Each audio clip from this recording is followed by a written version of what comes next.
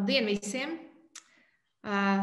Laipni lūgti šī gada pēdējā sarunu skola lampa nodarbībā ar nosaukumu Kā klausīties un dzirdēt ārpus vainas un vainošanas, ko vadīs mediātori Ilza Denauska.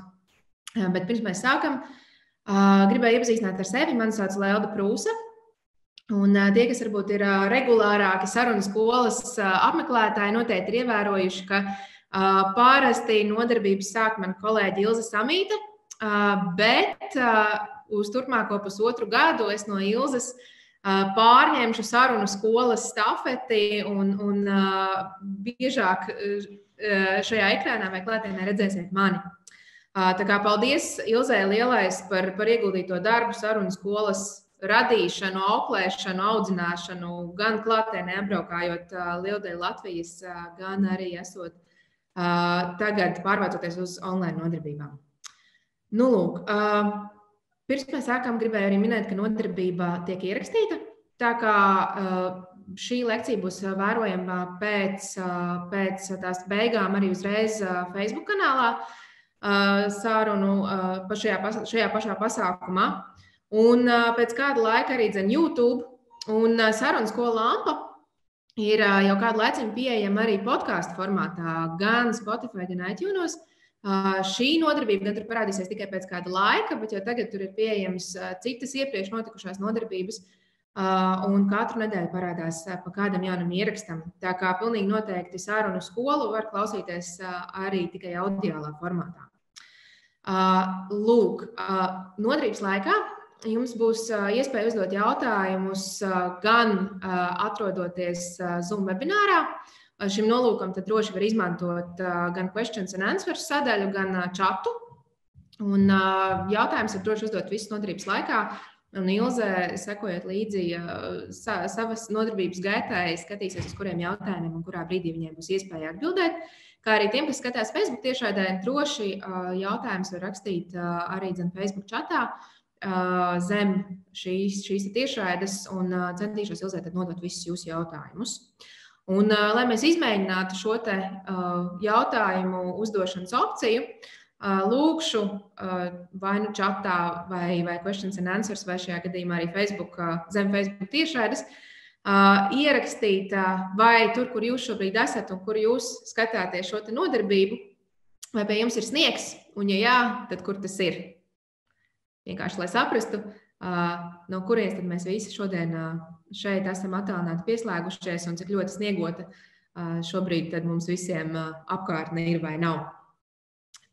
Jā, skatos, ka šeit vismaz zumā sniegs ir tikai leduskapī jūrmalā, kāds ziņo. Un, un citur pagaidām izskatās, ka, diemžēl, lielākā daļa sniega, sniega daļas vēl sniegs ir nokusis vai vairs nav. Nu, nekas. Uh, jā. Uh, tā tad jā, šodienas tēma, kā klausīties un dzirdēt ārpus uh, vainas un vainošanas, uh, droši vien šobrīd ir jau īpaši būtiska tēma, ja mēs mēģinām uh, meklēt savstarpējās saprašanās iespējas Un uh, Ilze, kura jau ļoti daudz gadus darbojās kā mediātors uh, gan uh, privātās, gan, gan uh, biznesa, biznesa jomā, tiešām ir cilvēks, kurš par šo uh, varētu izteikties un pastāstīt daudz uh, vairāk. Līdz ar to arī došu vārdu Ilzei. Uh, atgādinu, jautājums tiešām gaidīsim visas nodarbības laikā droši uh, vai nu čatā, vai questions and answers, vai arī Facebook čatā. Un Ilze, dod vārdu tev.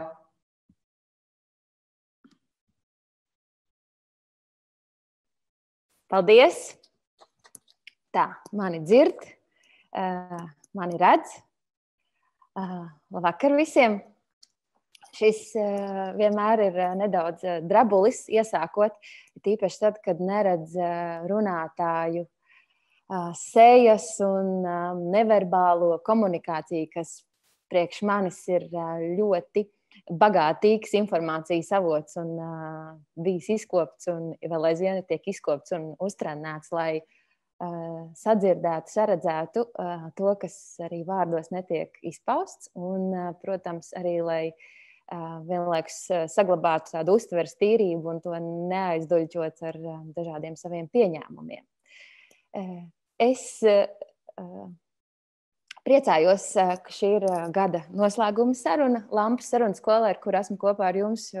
Man ar Lampas sarunas skolu ir daudzas pieredzes, ir pieredze ar viņu pašu pirmo sarunu uzsākot, kad sarunas skola gāja tautās. Un, jā, manuprāt, šī tēma par to, kā mēs satuvinamies, vai bieži vien cik traģiski ir tas, ka mēs mēģinām satuvināties it kā no sirds, bet īstenībā realitātē attālinamies vēl vairāk. Un, ja tas notiek spriedzes, spiediena, neparedzamos apstākļos, tad tā, tad tā satuvināšanās trūkuma um, pieredze ir vēl um, nepatīkamāka. Uh, kā sadzirdēt un klausīties aiz vainas vai bez vainas un uh, bez vainošanas? Es uh, sasmējos, uh, kad kāda, uh, kad kāda kad dāma uh, manā ierakstā, Facebookā, šo bija sadzirdējusi pavisam savādāk. Un, uh, tādēļ es no, nodalīšu, bet nošērošu savu ekrānu ar jums. Tad, tad par ko? Par ko mūsu sarunā šodien būs, un par ko uh, vieglāk ir pateikt, par ko viņa nebūs. Uh, tā nebūs par vannu un vannošanos, kā man viena klausītāja bija izlasījusi. Man liekas, tas tik brīnišķīgi, e, kā mūsu prāts e, izlasa un izlaiž dažus burtus. Jā, tā nebūs varbūt tik jautra tēma. Atkarīgs gan no tā, cik e, mēs esam spējīgi pasmieties paši par sevi un ieskatīties savu ieradumu vācelēs un savu pieņēmumu. Um, savus pieņēmumus padrupināt nedaudz.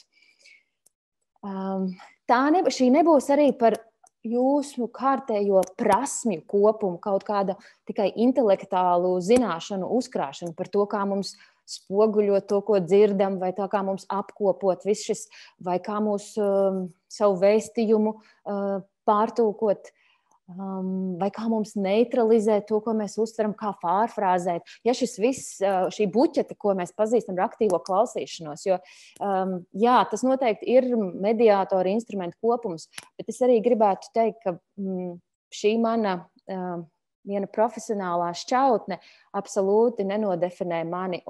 Mans sapnis ir, ka šajā lomā es kalpotu iespējams ar vien mazāk, jo man visvairāk kā, vairāk kā 15 gadus man ir interesējis tas, kā mēs varam novērst, novērst destruktīvus konfliktus, novērst, novērst sarunas um, un novērst attiecību dinamiku, kura pakļauj cilvēkus, kurā mēs pakļaujamies un darām lietas pret savu gribu, vai kurā tiek uzspiesta griba, un kur mēs um, apzināti vai nu, neapzināti atdodam savu varu, jo nezinām, kā. Um, tad, tad prevencija. Mani interesē vardarbības novēršanu un izskaušanu savstarpējās attiecībās, un jo sevišķi sākot ar attiecībām ar sevi, un tad izējot tālāk tautās.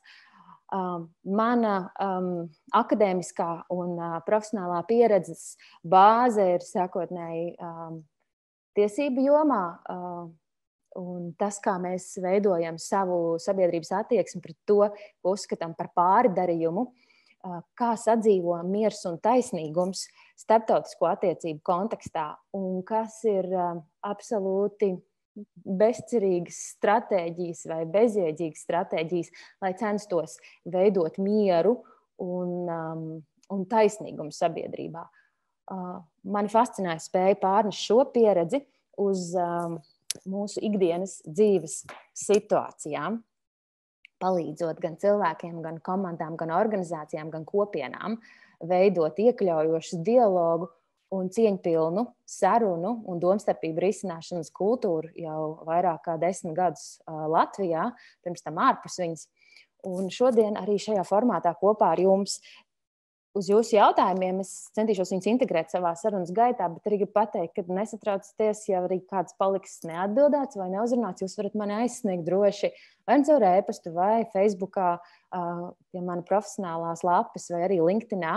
Un, Priecāšos turpināt ar jums sarunu, jo šī tēma um, iedzīvināšana un savstarpējas sapratnes, sadarbības um, un uh, mierpilnas cilvēku attiecību veidošanas vidi Latvijā ir, um, man ļoti būtiska, jēgpilna vajadzība un interese. Tādēļ tā turpinās arī aiz šī, šīs lekcijas un sarunas rāmjiem šodien. Vēl, jā, noteikti šī Es mazliet gribu paturpināt šo vannas tēmu, jo man viņa ļoti pašu iedvesmoja. Pēc tam ir svarīgi mums šeit uz mūsu saviem saruniem, sarunas un saviem miedarbības ieradumiem pastīties ar tādu vieglu, nu, vieglu ironiju, varbūt brīžiem pat. Un galvenokārt spēt pasmieties par sevi. Šī saruna būs par, jā, par mēģinājumu vai godīgas saiknes veidošanu Ja? Tā būt sarunā no sirds, pa īstam. Tā parunāt pa godīgo, kā bieži vien tautas valodā mēs dzirdam. Un tad, tad tas nebūs par skaistu fasādi vai skaistu vārdu izmantošanu tikai, kur mēs esam ar neļķi zobos vai rozi, rozi rokā pozējam kādam, vai esam iemācījušies kādu tehniku, ko minēja Ilza par nevardarbīgās komunikācijas soļiem, un tagad viņu tādā intelektuālā līmenī no lapiņas mēģināsim mājās kādam nolasīt. Nē, tas nebūs. Tas būs sākotnēji par tādu godīgu, arī diskomfortu jušanu, godīgu sevis jušanu un tad godīgu, drosmīgu sevis paušanu otram.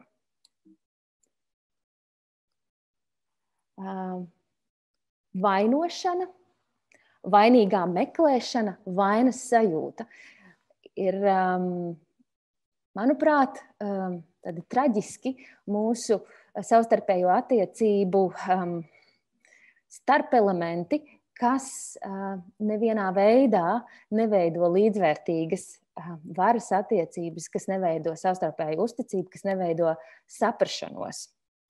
Um, pie tiem mēs pieķeramies, jo esam tā audzināti uh, autoritātes apstākļos, savās ģimenēs, skolās, darba vietās. Tādā veidā mēs esam viegli pakļaujami, tādā veidā mēs dzīvojam starp šo upura un uzbrucēja dinamiku. Mēs ieskatīsimies, kas tad ir aiz tā. Lai kādi rezultāti būtu mūsu sarunām, lai kādus procesus mēs pārvaldītu, mūs interesē pirmsākums, kas ir tas avots? Un kas ir tā motivācija, kādēļ, kādēļ mēs izējām uz sarunu, kādēļ uh, vispār mēs gribam iedot vēl savu enerģiju, laiku šai, šīm attiecībām, šim notikumam. Uh, jā, mana pieredze um, un tas, kā es pēdējos 16 gadus cenšos uh, veidot un pārveidot un pārtulkot savu pasaules redzējumu, savu sarunu saturu, savu attiecību kvalitāti, ir uh, sakņota uh, nevardarbīgās uh, komunikācijas filozofijā. Uh, un uh, manā uh, jau 15 gadu meditācijas un jogas pieredzē, uh, līdztekus manai starptautiskai miera un jurisprudences un politikas zinātnes pieredzei. Tā vīzija un sapnis man ir, ka cilvēki spēj mierpilni būt kopā un mierpilnā ceļā piepildīt savas vajadzības, ka mūsu nodoms, vai, lai iziet uz šo kontaktu, jebkurā situācijā, ir izprast vienam otra vajadzības un lūgumus un radīt saikni patiesu saikni, nevis šķietamu baiļu vai pienākuma radītu. Nevardarbīgās komunikācijas filozofija, process um, ir par to, lai atjaunotu apziņu, apziņu vai apziņas stāvokli, kurā mans atskaites punkts un godīgums sakņojas manā sevis zināšanā, man dzīvības, dzīves izpausmēs manī, burtiski tātad manās vajadzībās un vērtībās. Zinot no mirkļa uz mirkli, kas man ir svarīgs un vajadzīgs. Un apzinoties, ka visām dzīvām būtnēm universāli ir šīs vajadzības un vērtības. Taču atšķirās ceļš, kā konkrētā kultūrā vai kā konkrētais um, um, kopienā, organizācijā un kā konkrētā ģimenē mēs esam mācījušies vai izvēlamies šīs vajadzības piepildīt kā indivīdi. Un otrs ir šī mani, manī esošā sajūta kopums un mana uzmanības, mana klātbūtnes kvalitāte. Tās sajūtas, ar kurām es šajā mirklī esmu un dzīvoju, un kā es redzu, ka šīs sajūtas un vajadzības viņas ir manī iekšēji esošs avots un kodols. Tam ar ārējo pasauli ir sekundārs sakars. Ārējā pasaule izgaismo to, ka tas manī ir, bet ārē, apkārtējie cilvēki nav atbildīgi par to, kas man trūks vai netrūks. Ja vien mēs neesam par to iepriekš vienojušies, mums nav bijis vienošanās par to, kā manas vajadzības tiks piepildītas, un apkārtējie cilvēki nav atbildīgi par to, kā es jūtos. Kaut mūsu domāšana, valoda un varas attiecības jau vairāku, daudzu gadsimtu garumā mums māca, ir iemācījuši kaut ko pilnīgi pretēju. mēs esam iemācījušies vērtēt. Un šeit es nesaku, ka vērtēt ir slikti, bet mēs esam iemācījušies vērtēt pareizi, nepareizi, labi, slikti. Mēs esam iemācījušies vērtēt un uzlikt atbildību citiem cilvēkiem par to, ka tad, ja manas vajadzības nav piepildītas, viņi ir atbildīgi par to, un viņi ir sodāmi sistēmiski tas izpaužās kā mūsu um, tradicionālā krimināla tiesība, kura, uh, kura prasa par to, kurš ir vainīgs, kurš ir sodāms.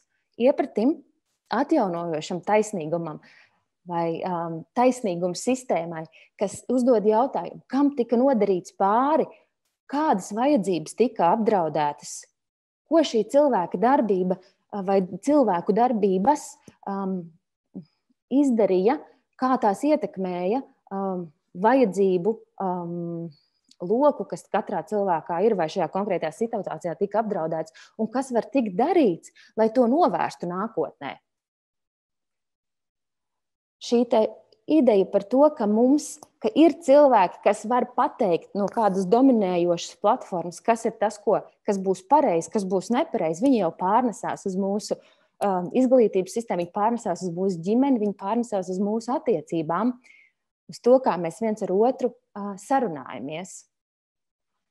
Mans sapnis, uh, mana pārliecība, mans aicinājums un pieredze liecina tikai izējot ārpus šī vērtējuma, kur mēs uzliekam diagnozi par to, ka viņš ir, uh, viņš ir idiots, viņš ir neizglītots, vai viņa ir neprofesionāla, vai viņa ir nepaklausīga, vai viņi ir um, viena vai otra veida cilvēki.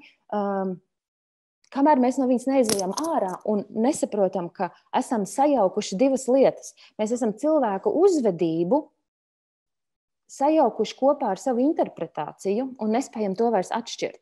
Un kamēr mēs nespējam atšķirt to, ka mēs sajaucam cilvēku rīcību ar to, ka um, piemēram, viņa ir pārāk uzbāzīga vai pieprasoša, vai viņa ir aroganta. Šis ir vērtējums, kurā mēs nekad neuzzinām, kas ir tā cilvēka uzvedība. Un skumjā ziņa ir tajā, ka katru reizi, ja šis ir stāsts un vārdi, ko es lietoju sevi un ar kuriem es izēju um, uz sarunu ar otru, tā būs traģiska saruna, vai tā būs saruna, kura varēja notikt, bet aizies nevis satuvināšanās ceļu, bet attālināšanās ceļu.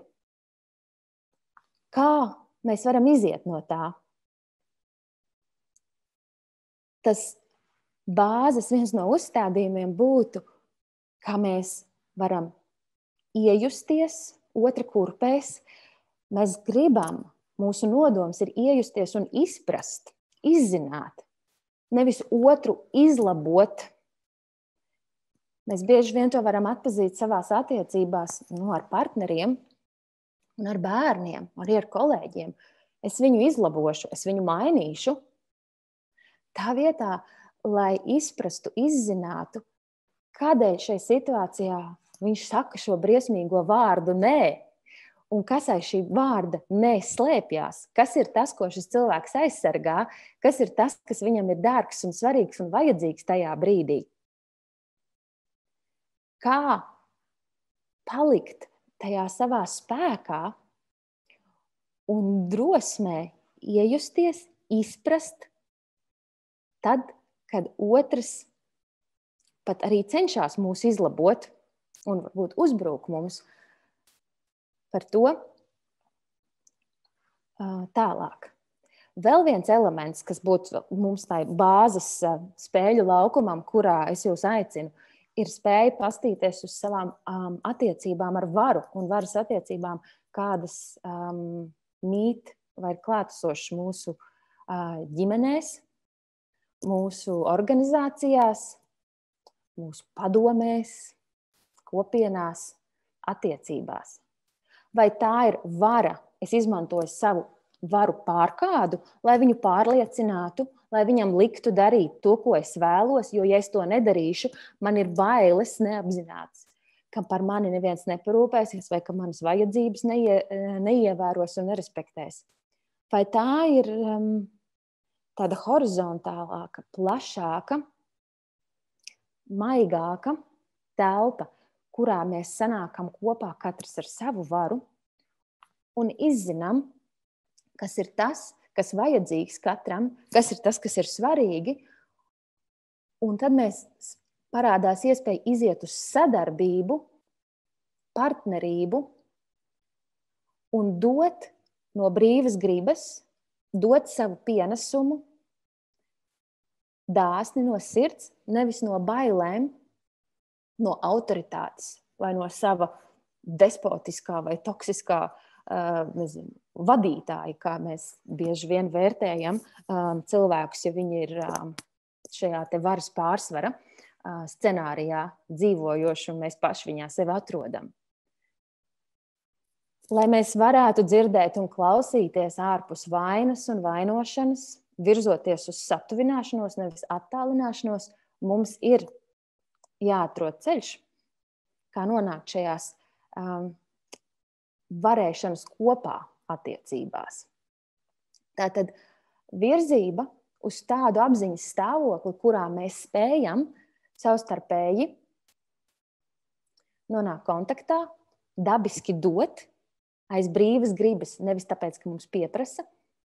Mēs spējam arī, kur šis došana un saņemšana satiekās kā viens veselums, ka tā ir dāvana gan tajā, ka es varu kādam dot no sirds, un ka es varu savu saņemšanu arī otram dot kā um, atbildes dāvanu, un ka mēs varam varēt kopā apzināties savu varas lietojumu, savu valodas lietojumu, savu domāšanas procesu, scenārijus un savu spēju komunicēt, aizsnodzoties aiz tiem vārdiem, kuri bieži vien pirmā brīdī varētu mums šķist, ka mēs viņus uztvertu kā ievainojošus vai uzbrukošus. Tā ir tas, tas, tas prasmju kopums, kas mums, mūsu apziņā ir nepieciešams vai kas var palīdzēt mums, lai mēs pie šī apziņas stāvokļa nonāktu, kurā vaina un vainošana nav klātesoša. Mēs esam daudz dzirdējuši, un arī es esmu par to daudz runājusi, un kā mediātori mēs esam par to runājuši un runājam, ka, protams, mums ir divas ausis, lai dzirdētu. Tas nozīmē vairāk klausīties, mazāk runāt. Ar tām ausīm vien nepietikt. Jautājums ir, kur tā skaņa un kur tie vārdi aiziet un kur notiek viņu apstrāde. Vai tas notiek tikai mūsu galvās, vai mēs varam piekļūt dziļāk savai sirdī un sajust, ko mēs, ko mēs īsti tur jūtam un kādi ir instrumenti mums, lai mēs spētu iztulkot un nokomunicēt, ko mēs tur jūtam, un kā lai mēs spētu arī radīt pietiekami droš, eh, drosmīgi, plašu, izturēt spējīgu telpu, lai sadzirdētu to godīgo vēstījumu, kas nāk no otra. Mans aicinājums nav jums kļūt šajā attālinātajā sadzīves laikā, šajā pirms Ziemassvētku adventu laikā, par klusiem, jaukiem, baltiem cilvēkiem. Nē, mans aicinājums noteikti ir par drosmi, par drosmīgu godīgumu. Par drosmīgu godīgumu. Un tas drosmīgais godīgums, eh, kā tad viņu iedzīvināt? Tam būs trīs, tam ir trīs virzieni. Patiesa saistība ar sevi, pašempātija pret sevi.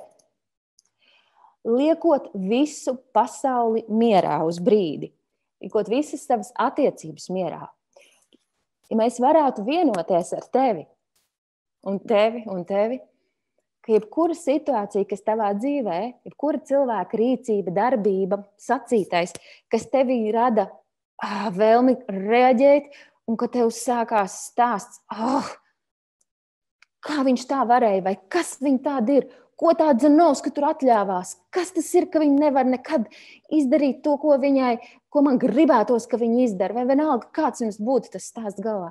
Ka tam mēs uzlikām pauzi, un tajā situācijā es pagriežos pie sevis. Okay? Ko es jūtu šobrīd, un kas man ir svarīgi? Jo mēs nekad nevarēsim iedot otram to empātijas daudzumu, to uzmanību nevērtējošo, nevainojošo, ja mēs nebūsim iedavuši gana daudz empātijas sev. Vienalga paši, vai mums ir kāds atbalsts, kas spēj um, arī atbalstīt mūsu un šo empātijas uh, nepieciešamo devu mums iedot. Un tas ir pilnīgi ok, ja es spēju pateikt, nē, šobrīd es ar tevi nevaru runāt, vai šobrīd es šo jautājumu negribu risināt un nespēju risināt, jo manī nav tāda resursa. Mums nav jābūt pieejamiem, mums nav jābūt jaukiem visu laiku. Mums tas jaukums izpaužas tulkojas godīgumā pret sevi. Šobrīd es esmu tik nezinu, ievainota vai tik sāpināta, vai es jūtos, man ir tik daudz trauksmes un, un uh, vilšanās. Es nevaru šajā sarunā būt. Man ir vajadzīgs izsērot, man ir vajadzīgs sevi aprūpēt, man ir vajadzīgs būt ar sevi. Kad es to būšu paveikusi, es varēšu atgriezties pie tās sarunas. Tad no šīs pašempātijas nākamais solis ir pie empātija pret otru, kas tulkotos kā jautājums. Klau, jā, varbūt tas cilvēks tevi sūta, kā man vecmāmiņa teica, šālēt dillēs, vai viņš tev sūta kaut kur tālāk, pavisam tālu, dažādās brīnišķīgās valodās, vai aizcēr durvis, vai saka vienkārši nē, vai izmanto skaistus mūsu sabiedrībā izkoptus pasīva-agresijas uh, tradīcijas, uh, vai tādus neverbālos komunikācijas žestus. Kas ir tas, ko tas cilvēks jūt, un kas ir tas, kas viņam ir vajadzīgs? Tie ir tie divi jautājumi, kas manu uzmanību un enerģiju var aizvirzīt prom. Aizvirzīt prom no šīs te, nepieciešamības reaģēt uzreiz, reaģēt, novērtēt, notiesāt, uzbrukt vai aizstāvēties, vai iekrist pašai savā kaut kādā sevis vainošanā uh, un upuru stāstā.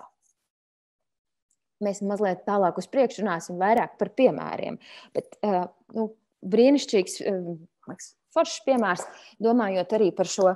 Nu, piemēram, mēs bieži vien dzirdu, runāju sarunās ar klientiem, un esmu arī dzirdējusi kādās situācijās pastarpināti, piemēram, agrāk ne tikai klientu, bet arī kolēģu starpā kādas sarunas.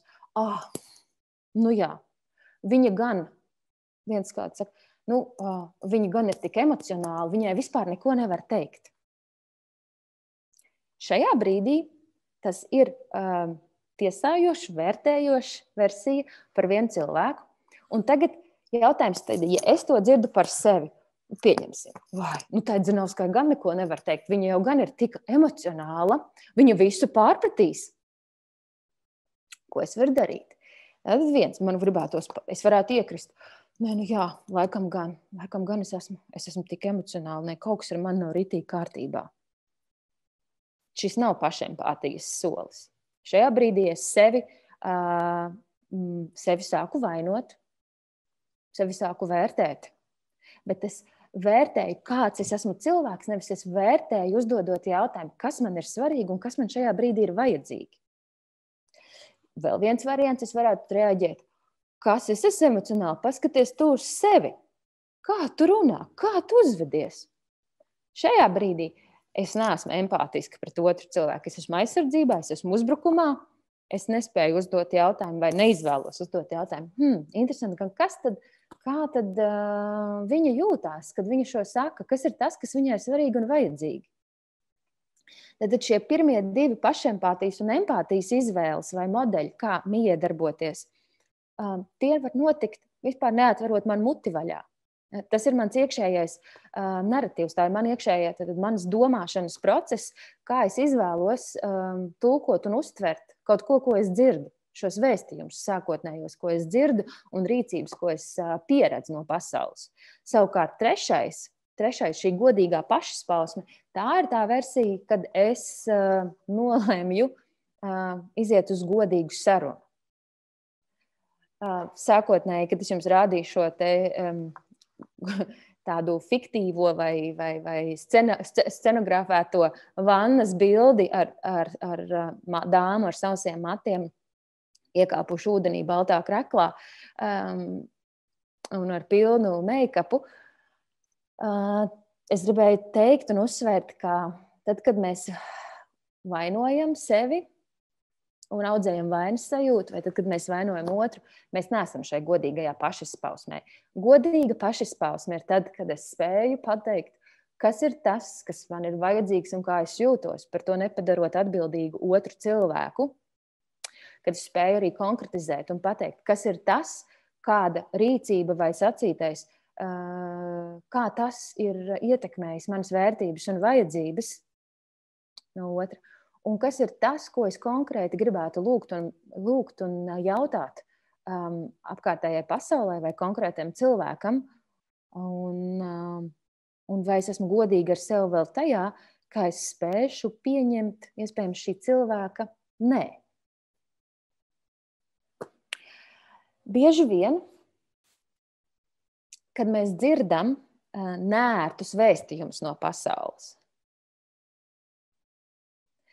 Mēs ir divas, um, divi ļoti klasiski reakciju veidi, kā mēs atbildam uz to.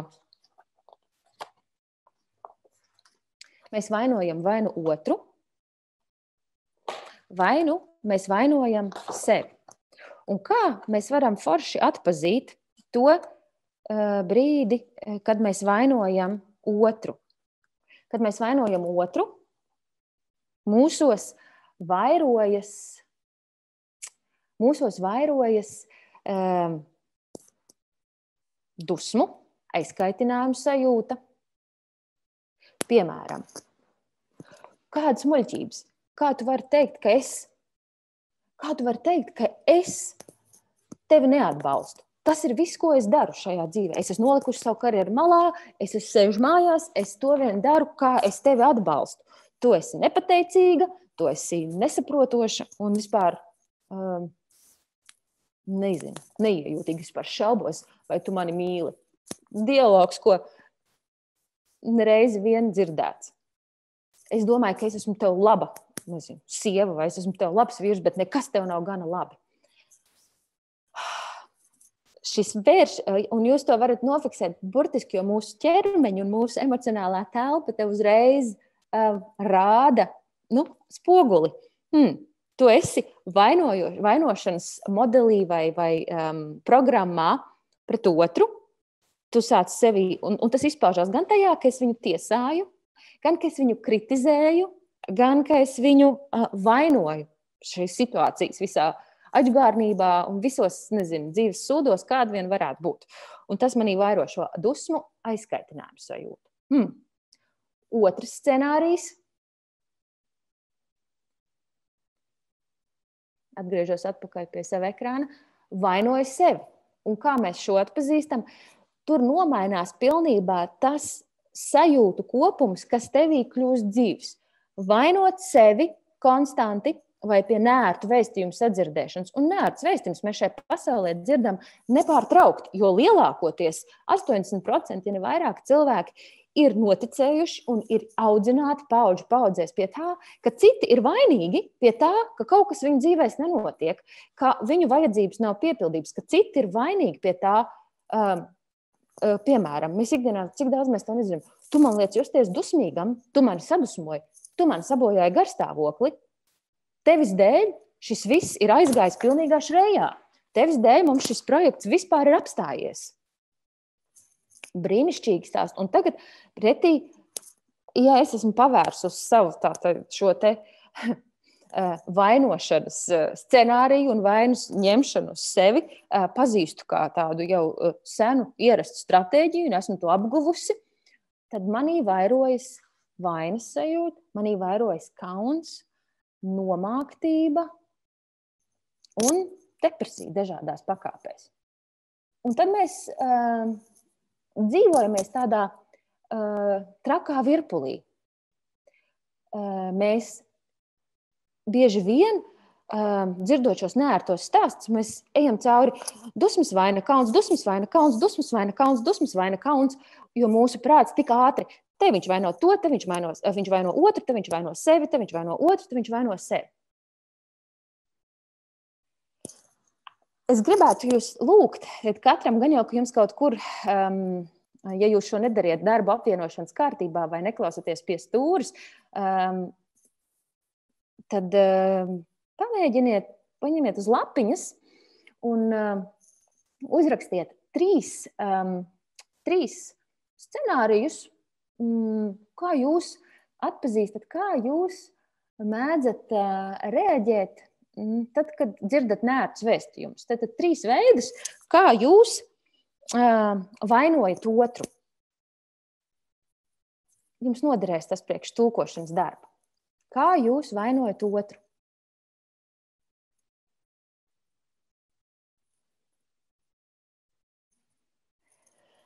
Jūs varat arī šeit, eh, man noderēs mūsu kopīgām praksēm, man noderēs, ja jūs ierakstīsiet arī šeit, eh, eh, čatā, kādu piemēru. Tad, tad, nu, ko jūs atpazīstat, kā jūs vainojat otru?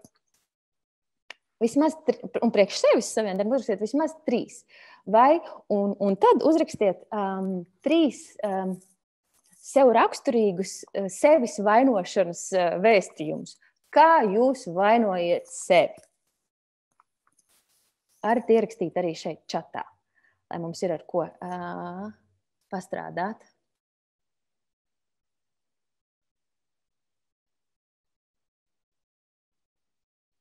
Tā es redzu, jautājumu ienākās. Labi, es viņus uh, uzrunāšu. Aha. Kamēr jūs par tiem domājat, es sarunas gaitā es redzu komentārus par to, ka jā, daudzas organizācijās pastāv autoritāra vadīšana. Mm.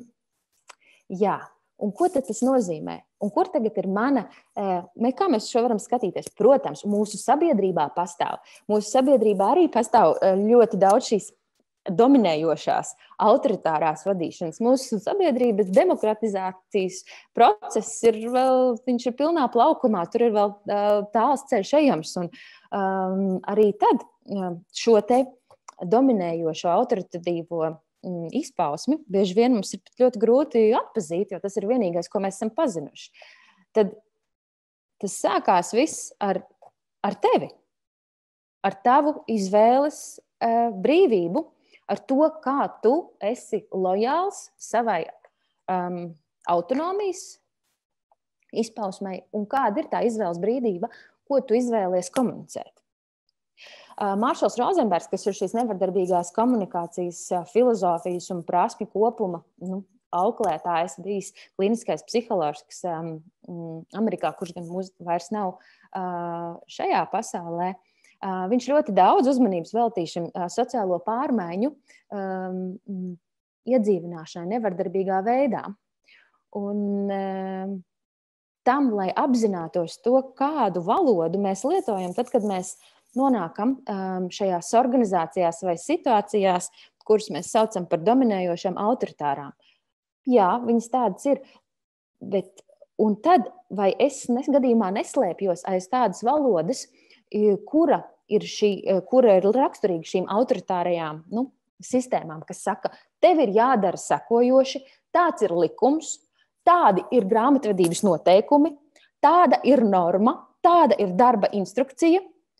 Paģērot, ka tas nav apspriežams, ka tas nav ka, ka tur varētu nebūt nekāds jautājums, kurš to ir teicis.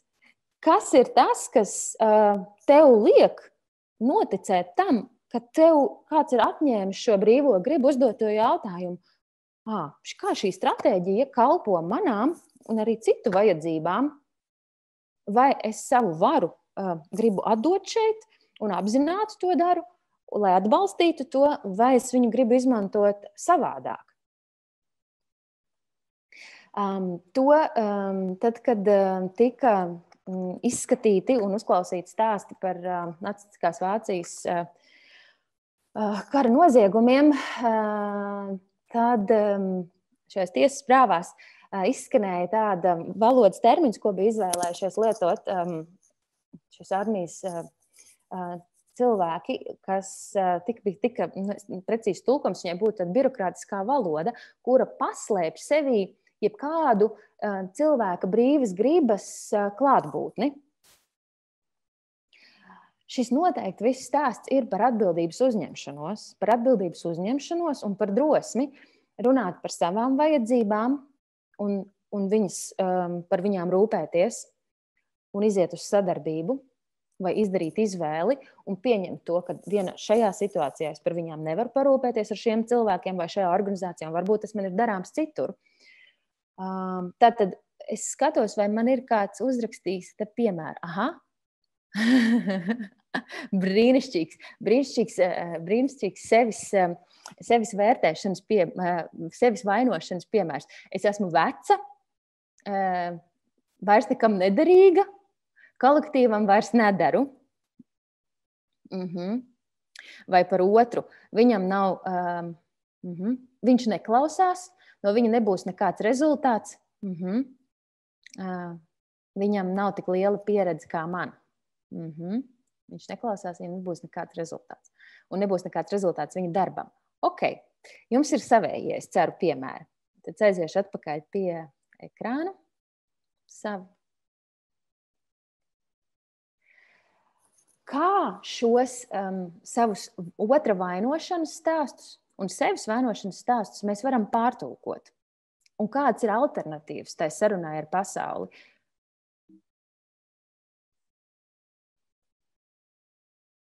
Tā. Uh, tā. Tā, tā. Tūlīt. Tātad, ja es šo vainošanu, otru vainošanu pārtulkoju par otra sadzirdēšanu. Uzdodot jautājumu, uzdodot jautājumu, kas ir tas, kas otram ir vajadzīgs? Kas ir tas, kas tajā cilvēkā šobrīd ir svarīgs un notiekošs? Ko viņš jūt, kas viņam ir vajadzīgs? Ko viņš jūt un kas viņam ir vajadzīgs un kas viņam ir svarīgi? Tas nozīmē, ka es savu uzmanību un saiknes veidošanu ar otru virzu uz viņa vajadzību un izjūtu izzināšanu, kas savukārt manī ģenerēs gan līdzjūtības, gan miera, gan zinkārs sajūtu. Taču tas nebūs iespējams, ja vispirms es nebūšu tikusi galā ar šiem um, savām sevis vainošanas reakcijām, šo savu varas darbiem, šiem saviem varas darbiem pret sevi. Tad, tad tā vietā, lai sevi vainotu, mēs pavēršam savu prātu un sirdi uz sevis izklausīšanu, uz ieklausīšanos sevī. Un tas, ko mēs gribam sadzirdēt, ir, kā mēs pārtulkojam šos savus tiesājumus par to, ka es esmu nekam nederīga, par to, ka es esmu neprofesionāli, par to, ka es esmu slikta māte, vai par to, ka es esmu, nezinu, um, uzmācīga partnere vai neiecietīga sarunu biedra. Kā es tos pārtulkoju, lai uzzinātu, kas tad ir tās manas sajūtas un vajadzības. Un tikai tad, kad es to esmu izdarījusi, manī sāk vairoties gan šī iekšējā miera, gan atvieglojuma sajūta, gan bieži vien skumjas un lielas, un lielas skumjas. un pat lielas sēras. Kādēļ? Tādēļ, ka tajā brīdī es tagad esmu pavērsus uzmanību pret sevi, uzzināt, kas ir tas, kas man šeit īstenībā ir vajadzīgs šai brīdī. Par ko man šis brīdis un šis, šī pieredze stāsta, kas ir tas, kas man trūkst, kādas manas vajadzības ir neaprūpētas. Un te es ieraugu, Dievs, ka cik ilgstoši šis atbalsts, vai šī tuvība, vai šī cieņa, vai iespēja teikt, būt nozīmīgai, vai, vai jēgpilni darboties, vai jēgpilni strādāt, cik ilgstoši šī mana vajadzība no manis pašas un arī manās attiecībās ar citiem, attiecīgi, ir bijusi atstāta novārtā, cik milzīgs iztrūkums tur ir. Un redzot to, šo neies nespēju vai nevarēšanu līdz šim kalpot un apmierināt un parūpēties par šo vajadzību, rodās rītīgs skumjas daudzums, un te ir tas, ir ko izsērot. Te ir tas brīdis, kad es uzņemos atbildību par šīm sajūtām, nevis uzlieku viņu otram.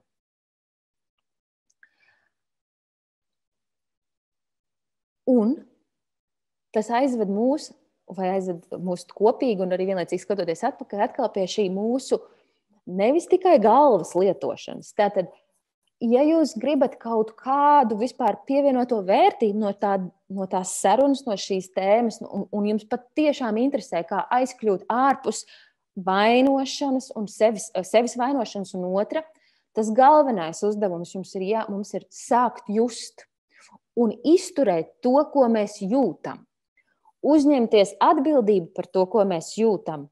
Ne jau sevi vainojot, bet sperot soli tālāk, lai izzinātu, kas tad ir tas, kas man vajadzīgs. Un te es gribu jūs aiziet kopīgi apstīties uz šo sprādzienu. Mums apkārt ir neskaitāmi daudz izvirdumu draudu, un reāli izvirdumi notiek dien dienā.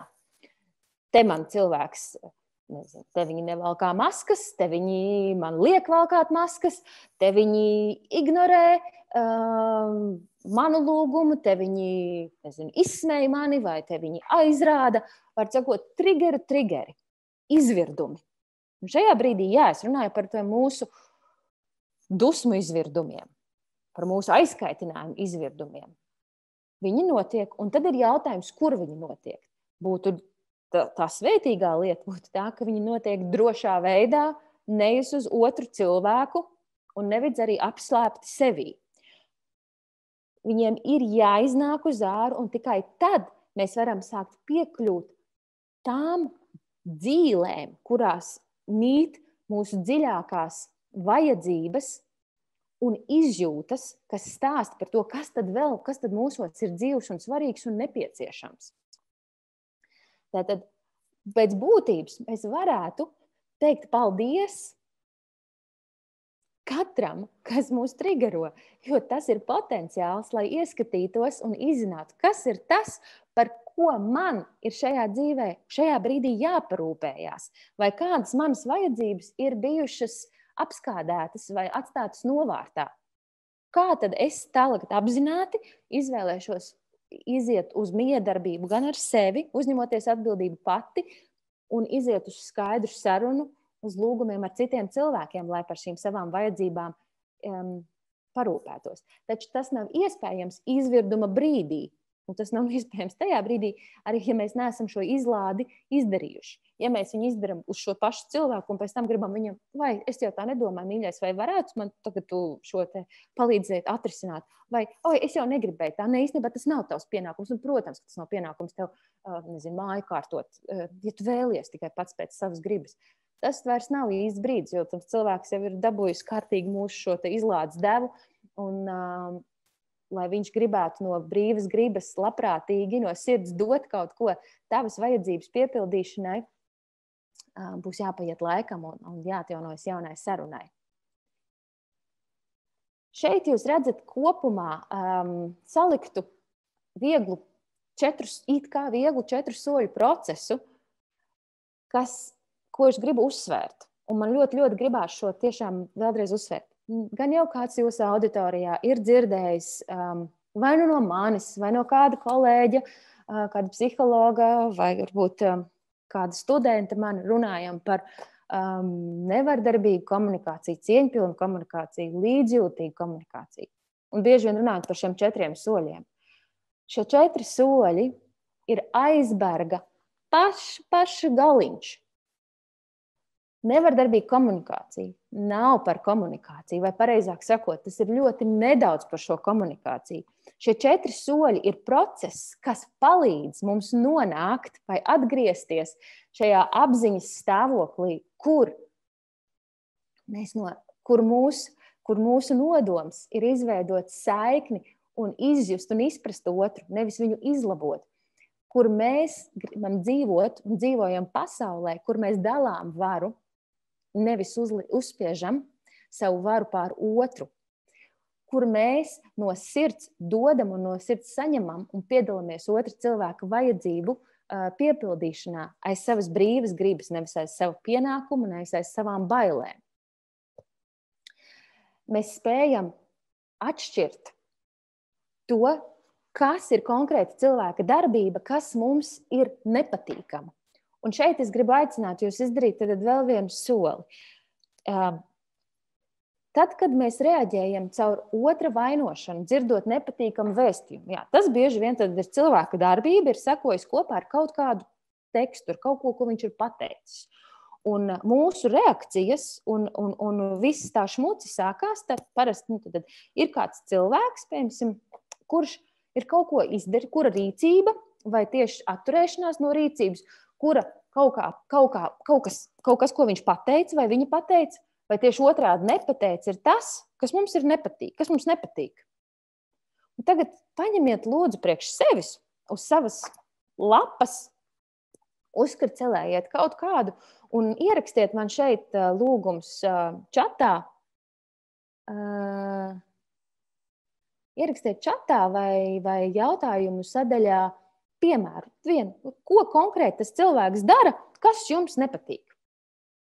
Ko viņš saka, vai ko viņš dara, vai ko viņš nedara, nesaka, kas jums nepatīk.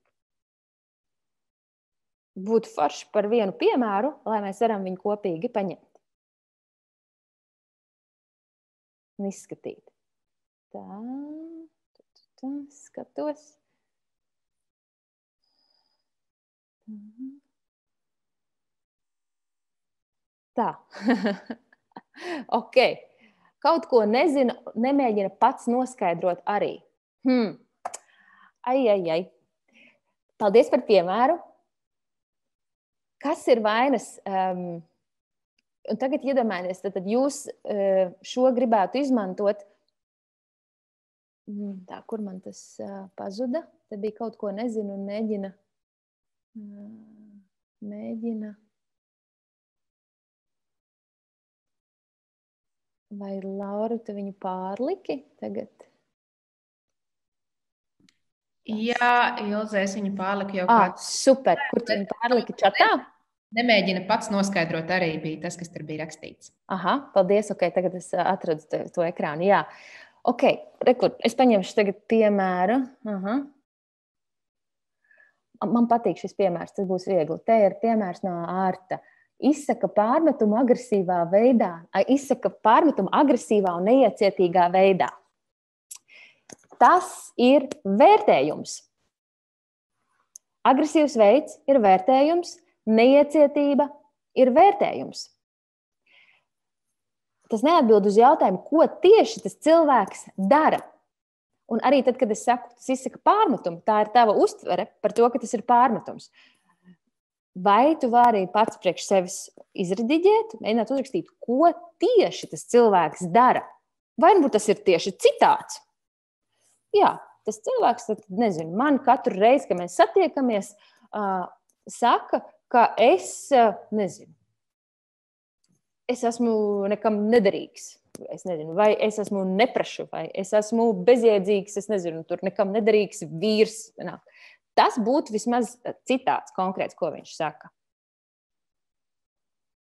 Jā, rekur ir piemērs. Tātad katru reizi, vai pagājušo, nezinu, pagājušo pēdējo reizi, kad es viņu satiku, tu man saki, ka tu, uh, piemēram, Anna man saka, ka tu jau sen varēji šo darbu izdarīt. Jā, tas tagad ir mans novērojums. Protams, ka Annas sacītais vai šī cilvēka sacītais, nosauksim viņu par Annu, um, ka tas nav uh, vērojums, tas arī ir vērtējums. Svarīgi ir, ko mēs spējam darīt ar to, kad mēs dzirdam tādu lietu. Piemēram, uh, oh, rekur no Aleksandra ir foršs piemērs tajā ziņā, ka viņš saka, bombardē ar izziņām, izziņām, zvana, pieprasa uzmanību. Hā, pieprasa uzmanību pieprasa uzmanību, arī ir vērtējums. Ja tu man un bombardē ar izziņām, eh, es teiktu, ka te ir eh, jau tāda vieglas, eh, traģiskas sarunas vai neizdevušās sarunas draudi uz sliekšņa. Jo tad, ja tu iziesi, pirmkārt, tu paskaties uz sevi, kā tu jūties, tad, kad tu pats šo saki par šo, par šo situāciju vai par šo cilvēku. Viņa mani bombardē ar īsiņām un zvaniem un pieprasa uzmanību. Un kas būs, eh, kad apsēdīsies un viņi teiks, klausies, zini, ko man ir, teiks, man ir tāda sajūta, vai es nevaru, ka tu man bombardē ar īsiņām un pieprasi man uzmanību. Visticamāk, jūs dabūsiet aizsargu reakciju, jūs dabūsiet uzbrukumu vai vēl kaut kādu, nezinu, pazemīgu upuri. Oh! Vai tas veidos jūsu saikni un savstarpēju sapratni? Diez vai. Nu, es gribētu pamēģināt to pateikt konkrēti. Klau, nu jā, pēc, tad man vakaros pēc darba saņemu um, vismaz četrus zvanus un, un desmit īsiņas no, no, no Zanas vai no, no, no tevis. Un, un tā tas ir katru vakaru, visu aizvadīto nedēļu. Tad konkrēta darbība.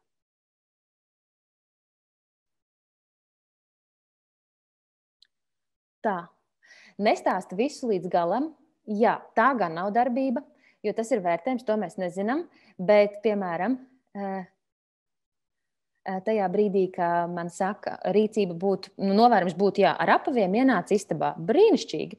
Kontrolē nebūs labs piemērs, tāpēc, ka kontrolē ir tavs vērtējums par kaut kādu cilvēku darbību. Ko tad viņš saka? Viņš aiztaisa durvis, neļauj tev ienākt, un, un tur viņas ciet, vai uzdod tev jautājumu, cikos tu šovakar būsi mājās, vai tā, tas būtu tas būt piemērs.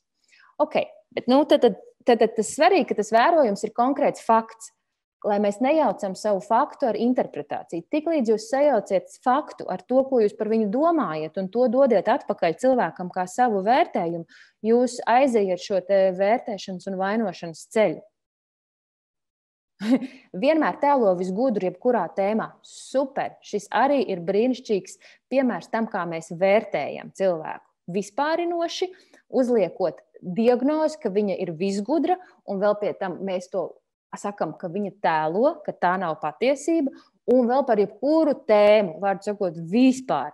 Tad, tad mēs, eh, mēs eh, savu, un, un šeit vēl mēs neuzņemamies atbildību par to, ka, ka tas ir mūsu, mūsu vispār, pat, pat mūsu vērtējums un mūsu redzējums. Tad tas neies cauri. Tas, kas būtu svarīgi, tad, kad jūs pārtulkojat savu tekstu konkrētā rīcībā, tas bija labs piemērs ar apaviem ienāk istabā vai uh, uzdod man jautājumu, vai uh, nepateica man par tēta, uh, vai tēva sieva nepateica man par tēva nāvi. Te ir tāds piemērs arī. Jā. Neatbild, neceļ klausuli, tad, kad es zvanu. Okay. Nākamais, tad jūsu solis būtu, ir šis triggeris, Un jums ir nākamais pastīties, kas tad ir dzīves jūsos, kas ir tas, ko jūs jūtat, un kas tad ir tas, kas jums ir vajadzīgs. Kā jūs jūtaties par to?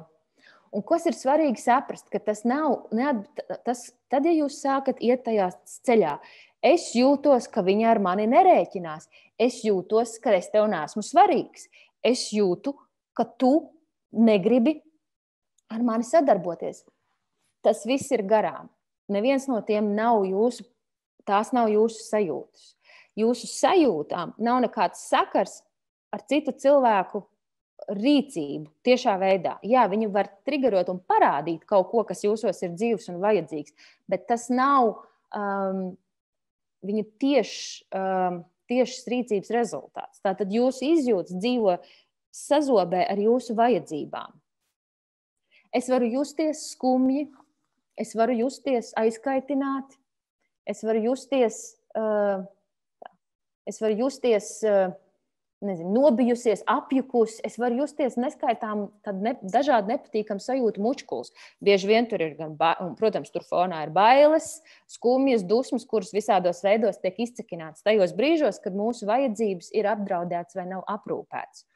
Un tas, kas ir svarīgi, ka mēs mūsu spējai viņas atpazīt, just un nosaukt. Bet mēs bieži vien no tā novēršamies un uzreiz aizejam nu, tajā, ka oh, šitā justies, šis ir nepatīkams sajūts. Tātad kaut kas, un tad mēs viņus mēģinām skaidrot, vai nu vainojot citus, vai nu vainojot sevi. Tā vietā, lai pateiktu, wow, paldies! Burtiski, paldies, ka jūs esat atnākušas, jo šajā brīdī dzīve manī notiek. Es varu pieredzēt un varu uzņemties atbildību un parūpēties par savām vajadzībām, uzzināt, kas tad ir tas, kas palika manas vajadzības. Šodien parādīšu, Jā, kas tad ir tas, kas man ir vajadzīgs. Vai tās ir nezinu, atbalsts, vai, ir, um, vai tā ir autonomija, brīva izvēle, vai tas ir kaut kādas fiziskas labsajūtas nodrošinošas vajadzības, vai tā ir saskarsme, vai tas ir nezinu, uh, klusums, miers. Tātad tas ir tas process un laiks, kas man ir jāvelta, lai es izzinātu šīs savas vajadzības, kas stāv aiz uh, uh, piemēram, brīnišķīgs piemērs. Rekur, rekur ir piemērs tāds, ja mēs paskatāmies to, ko cilvēks dara. Te man ir no Facebook tāds piemērs aizraujas ar mikromanagementu. Es teikšu, šis arī es viņu izbrāķētu kā konkrētu rīcību. Tev būtu jāpasaka, lai tā kalpotu kā piemērs, ko cilvēks dara. Ko tieši viņš dara? Nu, viņš pārlasa, vai viņa pārlasa, tātad, es nezinu, viņa pārlasa, uh, prasa pārlasīt trīs reizes nezinu, konkrēto līgumu, vai uh, viņa pārjautā um, ik pēc nezinu, pusstundai, vai, vai es esmu tikusies ar to klientu. Ja, kaut kāda konkrēta darbība, jo tiklīdz tu to vērtē šādi vispārīgi, tu sāc radīt sevi jau virkni emocionālu reakciju, un ja tu to lietosi kā vēstījumu otram cilvēkam, tu dabūsi pretī. Dabūsi pretī, un tas būs tāda pašnāvniecisks sarunas uzsākšana. Un tad nebūs runa par konkrētību. Un tad, ja tu gribētu patiešām uzņemties atbildību, nevis vienkārši pateikt tam cilvēkam, ka viņš ir pareizs, ka viņš ir nepareizs, un ka principā vēl viņu uh, vēl atrast veidu, kā viņu savā galvā nosodīt, bet tu gribētu paskaidrot un izstāstīt, kas ir tas, kas tev ir vajadzīgs, un kas ir tas, kas tevī attiecīgi ir dzīves, un tad, iespējams, iziet uz dialogu, lai nonāktu pie citām stratēģijām, kas varētu kalpot gan tavām, gan viņu vajadzībām, jums būtu uh, saprašanās un saiknes izveidošanas iespēja. Mazliet gribu aiziet atpakaļ pie sarunas par, par sajūtām. Ha! Redz, kur um, redzat manas uh, trīs draugus, atļāvos izmantot dzīvnieku pasauli. Um, katru reizi, jebkādu, uh, ja, teiks, ja tas mūsu mērķis vai sapnis ir spēja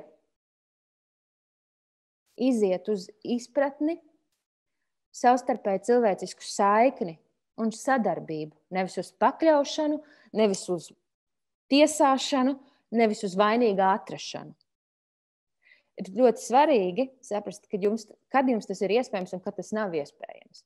Tad, ja jūs esat dusmu enerģijā, vai jūs esat vainas sajūtā, vai jūs esat kauna sajūtā,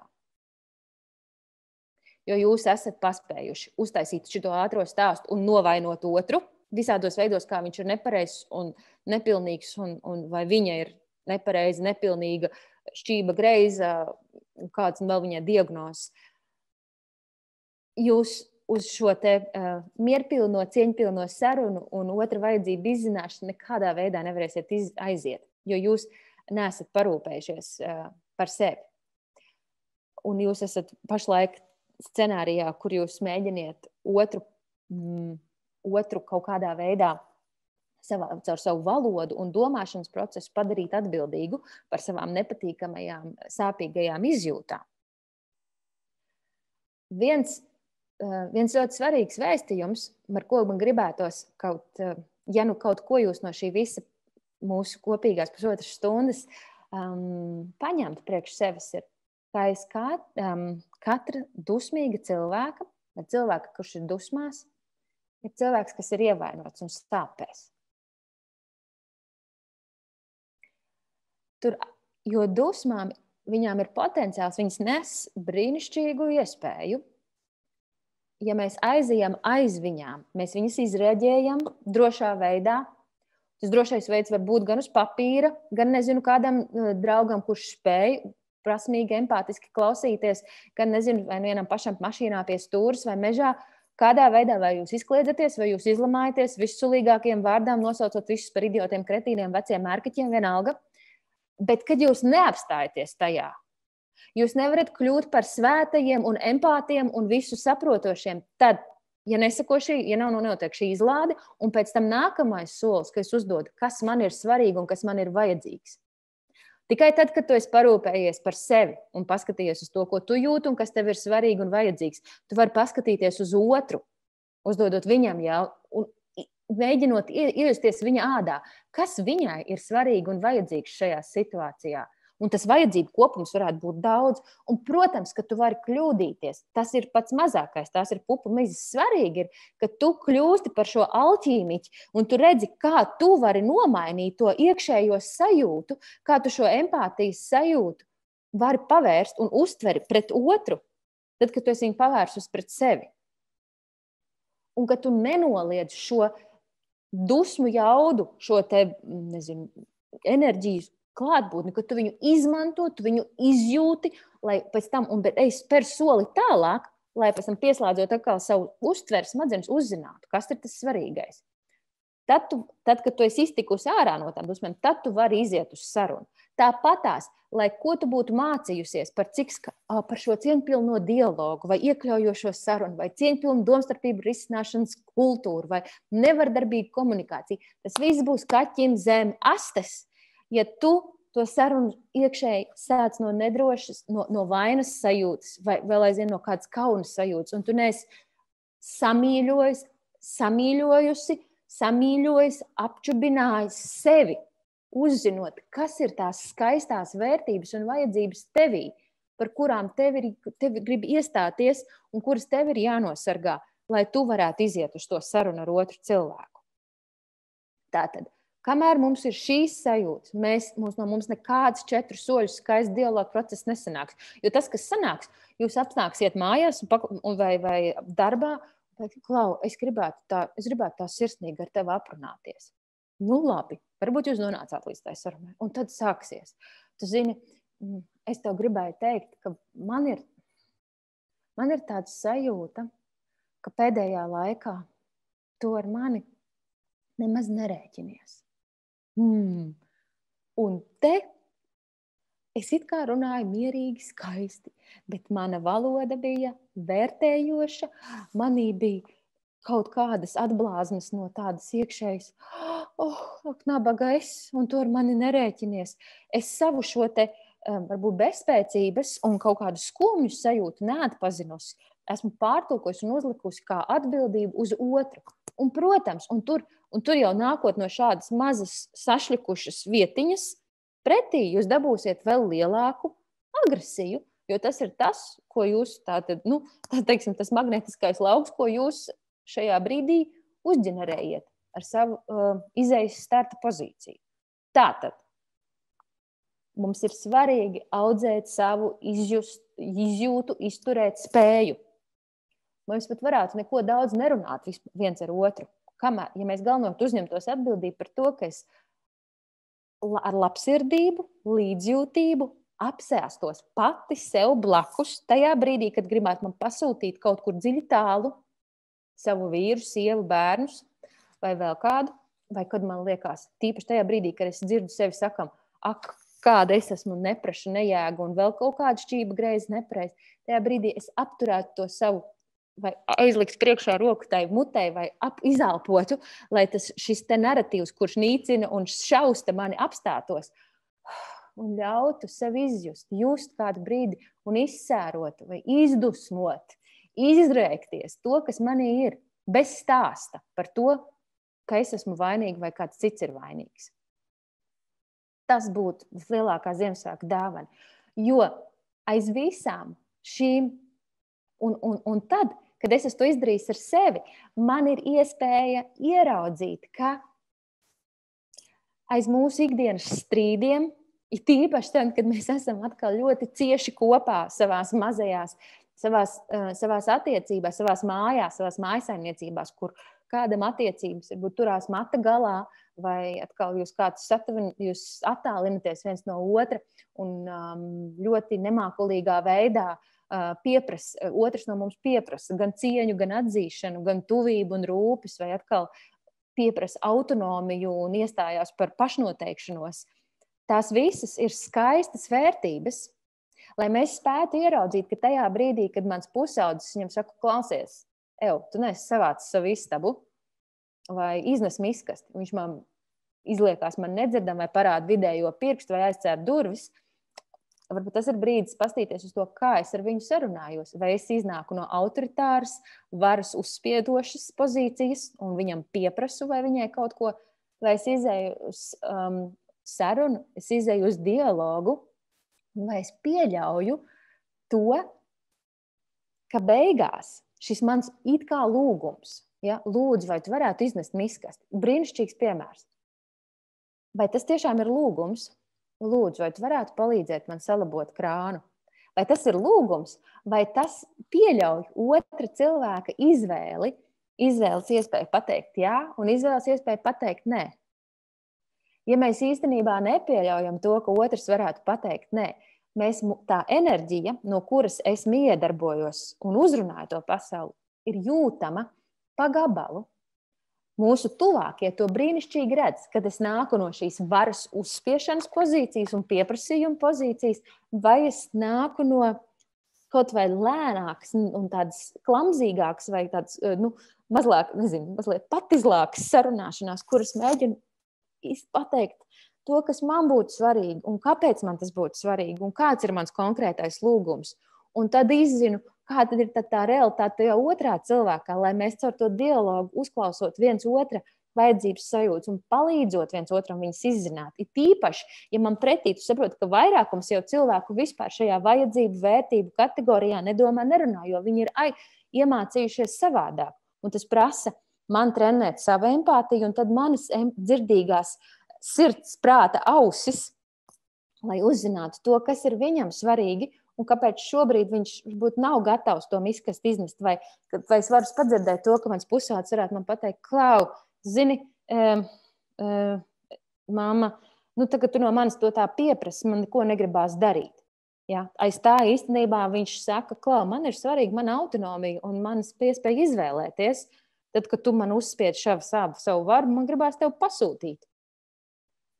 Brīnišķīgi vērtīgs vēstījums un pieredze, ja mēs aiz tā izzinām un tad hmm, paskatāmies, kā mums tas liek justies, un kas tad ir tās vajadzības, kas mūsos ir, un kā mēs varam to pārtulkot savādāk. Tātad aiz katra, um, es teiktu, agresīva vēstījuma vienmēr ir, un aiz katra nē, ir kaut kāds ir nemākulīgi, bieži vien izteikts lūgums, un vienmēr ir šis ir skaistas, skaistas, skaista dzīvība un vērtības, ko konkrētais cilvēks cenšas aizsargāt. Jautājums, vai mēs tās pamanām? Ha, nu jā, savalkot kopā. Šeit, ko jums darīt un par ko jūs varat būt droši, ka kariņš ir garantēts? Morāli spriedumi par to, kāds tu esi, kāds tu nesi. Tajā brīdī, kad mēs sajaucam otra cilvēka izturēšanos ar savu vērtējumu par to, kāds viņš ir, un nespējam nodalīt rīcību, nespējam nodalīt faktus no vērtējuma, mēs uzsākam un sākam to verbalizēt skaļi, vai sevī mēs esam jau uz tādas traģiskas, nezinu, pašiznīcinošas eh, komunikācijas. Mēs uzstādām diagnozi par otru. Vai mēs vispārinām viņa darbību? Viņa vienmēr mikromenedžē, viņš manī nekad neklausās. Viņa tikai no manis viņa grib darīt tikai to, kas mēs darām vienmēr tikai to, kas viņai ir svarīgi. Jo tas uzreiz iedod to, iekrāsot tavu iekšējo enerģiju, tavu emocionālo fonu, no kura tu tālāk izies uz sarunu. Un, ja tu izēj no agresīvas dusmu, aizvainojuma, sajūtas, kauna, vainas sajūtas, tava saruna nekad nevirzīs jūs uz saikni. Ja tev pretī nebūs ļoti cilvēks ar teikt, žirafas ausīm, kā nevardarbīgās komunikācijas procesā. Nu, praktē, praksē mēs runājam, jo um, tas ir kā simbols šīs žirafas ausis tiem cilvēkiem, kas spēj klausīties šādi ar, no sirdsprāta, izzinot, un sadzirdot un atpazīstot tavas vajadzības un sajūtas. Jo, jo žirafa ir sauszemes dzīvnieks, ir lielāko sirdi, ko Maršals Rozenbergs izvēlējās kā tādu simbolu uh, empātiskai sirdsprāta uh, klausīšanās prasmei. Vēl viena lieta, ko jūs varat darīt, un zinat droši, ka būs blieziens.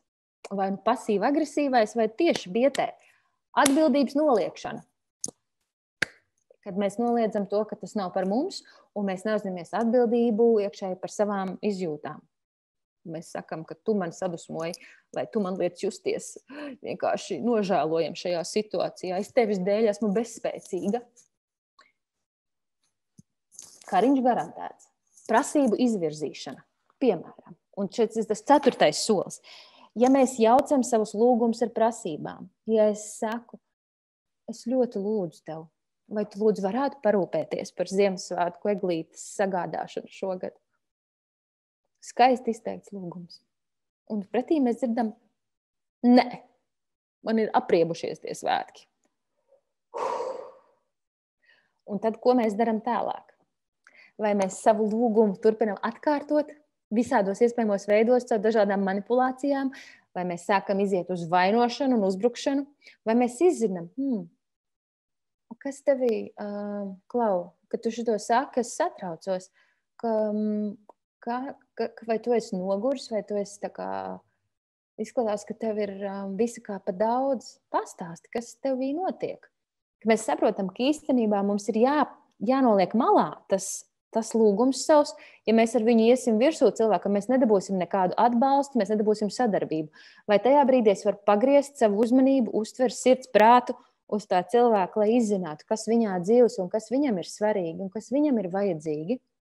Jo tad, kad otrs būs saņēmis šo empātijas devu no mums, pie nosacījuma, ka mums vispār ir ko dot, ka mēs neesam iztukšītī. Ja mēs esam iztukšītī, Pirmais, kas mums jādara, mums ir jāparūpējas, lai mēs nebūtu iztukšīti, bet mēs būtu, nezinu, vai nu puspilni, vai nu vismaz mums kaut kas būtu tajā empātijas bākā. Un tikai tad mēs varam iziet uz, uzrunāt otru. Pretējā gadījumā mēs uzkrāsim sevī milzīgu aizvainojumu, iztukšumu, iz, izdedzināsim sevi, jo nebūsim rūpējušies par um, savu vajadzību un vērtību izzināšanu. Bet tā tad, ja mēs esam un mums ir šī spēja pavērsties par to, kas tev ir svarīgi un kas tev ir vajadzīgi, mēs varam novērst šo prasību izvirzīšanas kļūdu. Un, protams, vēl viena lieta, kas raksta garantēja Kariņu, tas ir draudēšana ar sodu. Ja tu to nedarīsi, tev būs šādi, vai tu nedabūsi to. Uh, mūsu kultūra, kas ir ieaudzināta, jau uh, nostiprināta mūsu platumgrādos, un ne tikai, bet tomēr ne visur, ir šī uh, vardarbīgā kultūra, kurā mēs īstenībā uh, panākam to, ka cilvēki dara kaut ko vai cenšas kaut ko darīt vai nedarīt ar soda vai ar apbalvojuma metodi. Nu, neviena no viņām nav tā, kas mums ļauj iziet ārpus šīs dominējošās pārākuma varas uzspiešanas kultūras. Tikai tad, kad mēs varam brīvi dot no sirds un saprotam, kā tas kalpot un var stiprināt otru vajadzības, mēs īstenībā cilvēku spējam paši kalpot un atbalstīt sevī ļoti nozīmīgu vajadzību, kas ir palīdzēt un atbalstīt otru un dot ietekmi ieguldījumu otra cilvēka labesībai. Bet to mēs nedarīsim tad, ja tas, no, tas nekad nenāks tā tīri brīvi un ļoti bagātīgi dāsni no mums, ja tur būs šis uh, soda vai uh, apbalvojuma elements.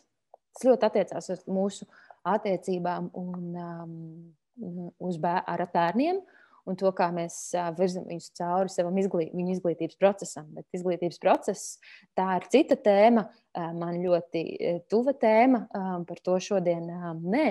taču paskatieties, vai jūs atpazīstat šos soda un um, apbalvojumu elementus, un vai aiz tām nepaslēpjas šī godīgās sarunas iespējas vispār nu, iznīcināšana. Nu, jā, un, protams, vainošana kā iespēja, kas jums ļaus brīnišķīgi vēl uh, vienam otru mm, izaicināt uz cīņu. Jā. Uh, es tagad gribu paskatīties uz jautājumiem. Mūsu esam brīnišķīgā uh, plūdumā, uh, tiem galvenajiem tematiskajiem pieturpunktiem. Esmu izgājusi cauri. Uh, es skatos um, tagad uz jautājumu atbildžu sadaļu. Uh, Aha, rekordzie piemēri brīnišķīgiem. Tā, jā, rekords redzu piemēru no elites par to, ka um, kāds ir um, vēl viens kariņam brīnišķīgs uzsākums, kad mēs vērtējam uh, otru, tu, ne, tu esi nekas, tu neko neproti, bet viņa ir neaiz, neaizvietojama. Man būtu, brīniš, man būtu um, aicinājums, ka šos uh, trīs vērtējumus tu pārtulko um, pārtulko, mēģinot uzrakstīt, kas ir tas, ieklausoties tajā otrā. Kas tad ir tas, ko tas cilvēks, um, ko tas cilvēks īstenībā dara? Ko tad konkrēti viņš dara? Mhm. Vai, jā, un kas tad ir tas, kas um, tev ir vajadzīgs? Kas ir tas, kas tev ir vajadzīgs? Uh, tad, kad tu esi saskarsmē ar šo cilvēku, un tev gribās viņu šādi vērtēt. Kas ir tavas vajadzības un sajūtas tevī, tad, kad tu esi saskarsmē ar šo cilvēku? Te tu pagriez empātiju pret sevi. Tad, kad tu esi pagriezis šo empātiju pret sevi un sapratusi, kas ir tas, kas tev ir vajadzīgs un svarīgs, un ko tu jūti, tu vari pagriezt pret viņu. Un tad pēc tam tu vari spērt soli tālāk, noformulēt konkrētu lūgumu, ko tu gribētu no viņa. Vai varbūt nemaz lūgums tev nav vajadzīgs. Pietiek ar to, ka tu izkāp um, caur šo vajadzību un izjūtu atpazīšanu. Jo tad, kad mēs pievēršam uzmanību to, kas tam cilvēkam mūsos ir svarīgs un vajadzīgs, un ko mēs jūtam, mums sāk atbirst vispār šī diagnožu uzstādīšana vienam par otru. Un aiz tām diagnozēm un vērtēšanas par pareizi, nepareizi, labi, slikti, mēs varam satikt un ieraudzīt ļoti bagātīgu, skaistu pasauli, kurā sadarboties. Ir tīpaši vēl mēs apzināmies un sekojam līdzi no soļa uz soli, kā mēs veidojam, kā mēs lietojam savu varu. Vai mēs viņu dalām, vai mēs viņu uzspiežam, vai mēs viņu um, bezatbildīgi atdodam. Tā, es skatos uh, tagad čatā. Tā, Ko darīt? Jautājums, ko darīt, ja manas vajadzības otrs nepieņem un nevēlas kopā tās risināt? Nevar taču visu laiku ieguldīties otru vajadzībās un likt malā to, kas svarīgs sev pašam. Ko darīt, ja visu laiku nonāc strupceļā? Ko darīt, ja otrs ir izvirzījis ilūzijas, ko vēlas saņemt no otra, un tad uzbruk ar pārmetumiem? Uh, te bija viss man uh, lekcijas tēma. Tā, beigsim īsi. Uh, tā. Ja manas vajadzības otrs nepieņem, nevēlas tās kopā tās risināt. Nu, tā, ko nozīmē, kad otrs nepieņem? Vai es saku, ka klā, man ir, nu, es varu pieņemt, ja šis ir teiksim, saruna par zinu, attiecībām ģimenē. Pirmkārt, vai mums ir kāda ir mūsu ģimenes vienošanās, un vai mums ir savstarpēja vienošanās par to, kā mēs vispār nokomunicējam savas vajadzības. Ja man ir, piemēram, vajadzība pēc atbalsta, intimitātes, tuvības, sapratnes. Tas ir viens, taču um, šīs vajadzības ir domāt, ka tādi lieli. Um, nezinu, kausi, uh, liels enerģijas uh, bumba, um, kurā, kuru uzpildīt var ļoti dažādos veidos. Mūsu partneris nav atbildīgs par mūsu vajadzību piepildījumu. Ja vien mēs neesam konkrēti vienojušies, klau, lai mēs viens otram, piemēram, sniegtu nu, atbalstu, nezinu, bērnkopībā vai, vai ne bērnu, bērnu mājas darbu atbalstīšanas procesā. Piemēram, pirmdienās un, un trešdienās laiku ar viņiem no četriem līdz septiņiem pavadi tu vai pavadu es. Rekur būtu konkrēti vienošanās. Jo bieži vien mūsu strīdu un aizķeršanās ir par to, un, un, un, un, un izvirdumi, ka mēs sajaucam stratēģijas ar vajadzībām. Ka mums šķiet, ka mums ir vajadzīgs tieši, lai tajā konkrētajā mirklī viņš vai viņa dara to vai citu lietu, un ja viņi nedara, tad viņi tagad man neatbalsta. Bet tā konkrētā stratēģija, iespējams, kur es esmu savā galvā izdomājis un pieprasu no otra. Man vajag, lai tu mani atbalstu, man vajag, lai tu izņemtos bērnu šovakar. Nē, jā, atbalsts ir viena lieta, un tas tiešām izklausās, ka tev vajag to atbalstu, bet ka tieši izņemt bērnu šovakar, tu, tā ir stratēģija, un, un, te, un, tas, un tas ir pieprasījums. Tas nav lūgums, jo tas neparedz, izklausās šajā brīdī, ka otrs varētu pateikt, nē, Jo vismaz šī stratēģija ir ļoti pretrunā ar viņa vajadzībām. Un tad, kad tu pieprasi, tad otrs cilvēks noteikti nav, nav sajūtā vai vietā, no kuras viņš var gribēt tev brīvprātīgi, labprātīgi kaut ko dot. Tātad pirmais būtu ja paskatīties, ko es saprotu ar savām vajadzībām. Un te es aiziešu atpakaļ uz šo slaidu. Tiešām, vai es viņas atpazīstu kā šādas lielas vērtības? Nu, Un tālāk, tas, ko es ieteiktu tev vienu soli darīt, ja tev vajadzīga, piemēram, ir pēc nezinu, klātbūtnes vai atbalsta vai sapratnes, paņemt šo vajadzību un uztaisīt personisko prāta vētru, kādas ir vismaz piecas stratēģijas veidi, kā ļoti konkrēti tu pati vai tu pats vari parūpēties par šo vajadzību. Tad uzrakstīt vēl piecus veidus, kādas konkrētas stratēģijas scenāriji, kā, uz kurām tu vari būvēt savus lūgumus, un aicinājums tam cilvēkam, otram, lai viņš varētu tev palīdzēt vai atbalstīt šo tavu vajadzību. Un šiem lūgumiem būtu jābūt formulētiem. Ja? Lūgums kā stratēģijas, nu, tad stratēģija kā lūguma saturs. Viņiem būtu jābūt formulētiem kā konkrēta rīcība, pozitīvā, ko tas cilvēks var darīt. Ja? Piemēram, uz stundu nolikt telefonu malā. Vai, piemēram, viena stratēģija, kamēr mēs ēdam vakariņas, visi ģimenes locekļi ir nolikuši telefonus savā somās vai koridorī viena stratēģija. Ja? Kā, piemēram, ja, lai parūpētos par savstarpēju nezinu, kopības sajūtu vai tuvības sajūtu, kas te, vajadzību, kas tev ir svarīga. Tātad tu uztaisīji šo prāta vētru, izdomā stratēģijas, vismaz piecas, kuras tu pati vari īstenot, piecas, kuras tu vari šim cilvēkam, par kuru tu tagad raksti vai domā, lūgt, un piecas, kuras tu vari citiem cilvēkiem. Un tu kļūsti jau super bagāts. Tev ir vismaz 15 veidi, kā tu vari kaut ko konkrētu darīt, vai vis, vismaz iziet uz drosmīgu, godīgu dialogu, izstāstot, kas tev ir vajadzīgs, un tad izējot uz lūgumu, un saprotot, un, un būt gatavi arī pieņemt nē no otra cilvēka, un tad izzināt, varbūt citus variantus, ja, kas varētu strādāt. Tālāk, pilnīgi piekrīt. Ja tu, un uh, es nevienā brīdī neesmu teikuši šodien, ne, ka mums vajadzētu ieguldīties otra vajadzībās, noliekot malā to, kas svarīgs sev pašam. Šāda izvēle izklausās ļoti vardarbīga. Mans stāsts nav, ka jūs kļūstat par jaukiem, baltiem, pūkainiem paklājiņiem priekš otra cilvēka. Nebūt nē. Pēdējais laiks beigt šo izklāšanos. Jums ir, mums ir jāsaprot, jāuzņemās atbildība par savām vajadzībām, atzīstot, izzinot, kas mums ir svarīgi, un saprotot, vai tie cilvēki, ar kuriem es esmu kopā, vai man ir iespēja nonākt pie sarunas un vienošanās par to, ka par šo vajadzību varētu parūpēties, vai saprotot, ka nē, ar šo cilvēku man šī, strat, šī vajadzība nav iespējams nekādā veidā mm, nu, sadarboties vismaz šobrīd, varbūt vēlāk, varbūt nezinu, vispār nemaz. Varbūt ir jāmeklē citas, cit, nu, citas stratēģijas, kā to darīt. Protams. Mm, un, ja tu nonāc strupceļā, tad, tad vēlreiz teiktu, ka pirmais par to strupceļu, ja mēs runājam par strupceļu sarunā, um, būtu jāsāk tev ar savu emocionālā nu, fona iekšējā apjaušanu. Kas tur iekšā ir par sajūtām, un kas tad ir tās par vajadzībām, par kurām tu neesi rūpējies? Tas ir viens, bet, ja tu kaut vai paņemtu priekš sevis tādu uzdevumu, ka tu apsēstos, vienalga vai staigātu, minimums 15 minūtes savā dienā, un ļaujot, lai kāda būtu tā situācija, kurā tev būtu notikusi tas triggers, un ļaut sev just to, ko tu jūti, nevienā veidā nemēģinot analizēt, vērtēt, tiesāt, kaut kā nosaukt otru cilvēku, var sakot, noliekot malā visus pārējos līdz Ziemassvētkiem kaut kā.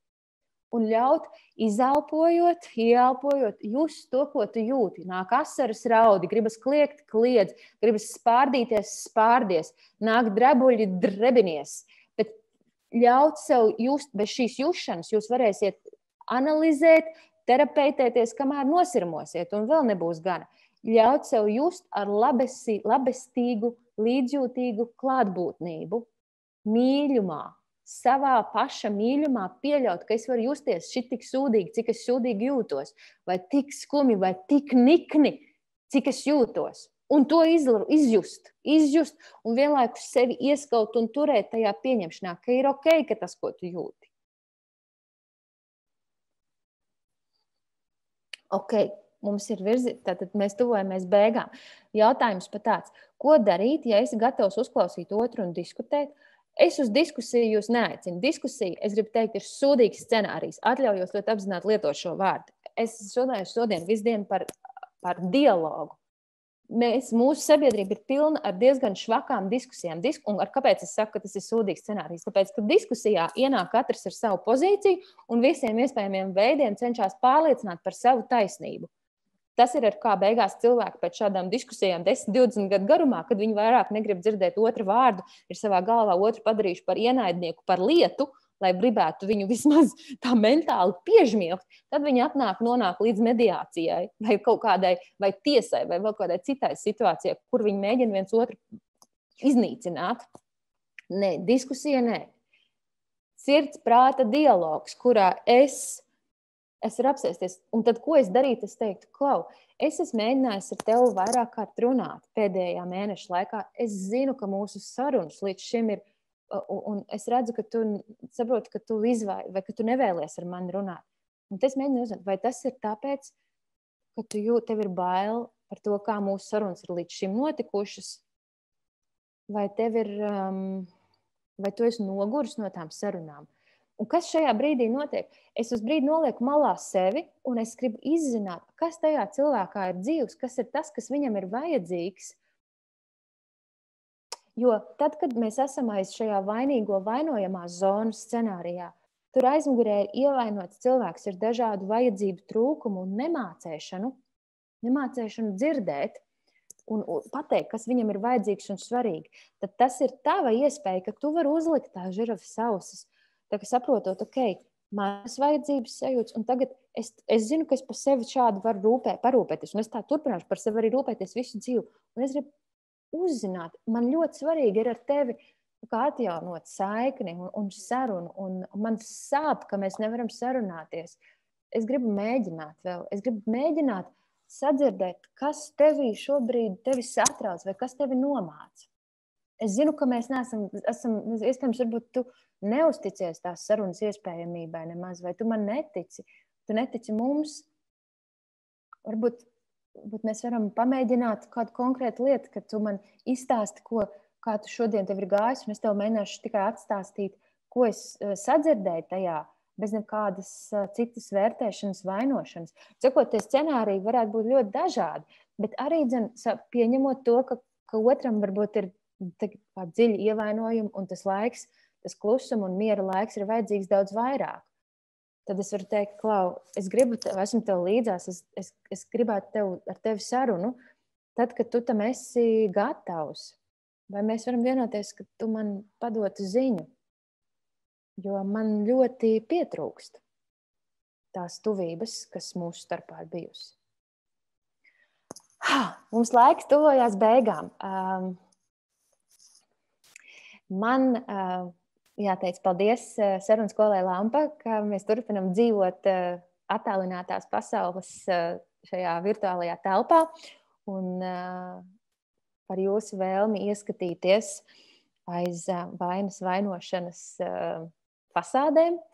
Un lai mums visiem apzinātāks, līdzjūtīgāks un sirsnīgāks kopūšanas laiks šajā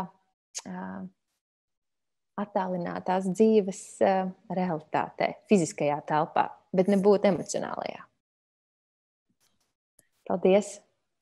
Lielas paldies, Ilze, par šodienas lekciju. Uh, jā, man šķiet, uh, te bija ārkārtīgi daudz uh, ļoti ietilpīgas tēmas, uh, uh, ko Ilze aizskāra, un kā jau viņa minēja arī nodarbības sākumā.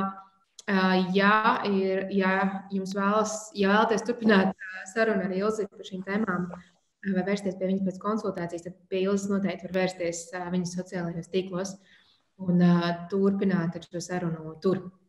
Jā, vēlējos atgādināt, ka šī nodarbība būs skatāmā Facebook ierakstā arī pēc tās beigām. Un, un, un, un pēc kāda brīža arī dzen YouTube. Un citas iepriekšējās sarunas skolas nodarbības palēnām šobrīd pārtop arī podkāstu formātā un ir sastopamas klausāmā veidā Spotify un iTunes kā podkāsti. Lūk, šī patiešām bija pēdējā sarunas skolas nodarbība šajā semestrī.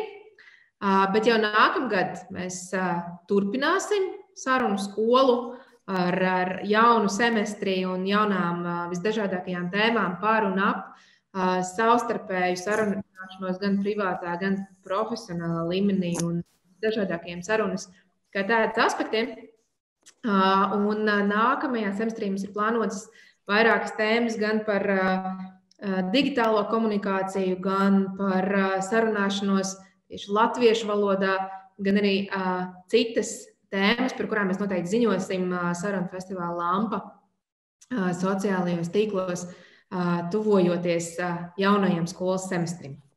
Manas kolēģis pirms kāda brīža gan Facebook, gan Zoom webinārā ievietoja linku ar aicinājumu aizpildīt aptauju par šo nodarbību. Un patiešām liels lūgums jums to izdarīt, jo tas ir veids, kādā mēs varam uzzināt, kas interesē jūs. Un kādi sarunas aspekti, jūsuprāt, būtu sarunas skolā apskatāmi un ieraugāmi? Jā, paldies par klātbūtni arī šādā attēlotā veidā.